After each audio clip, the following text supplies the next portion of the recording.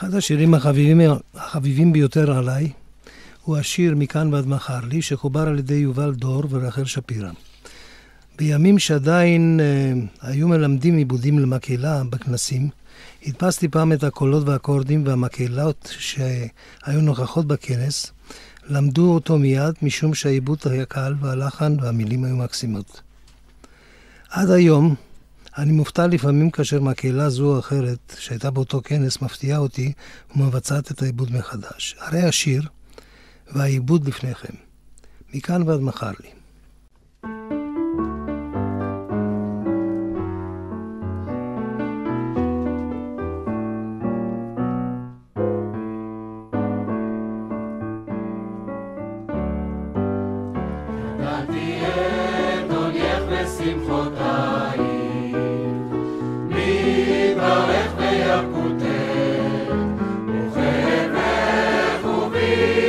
Santa.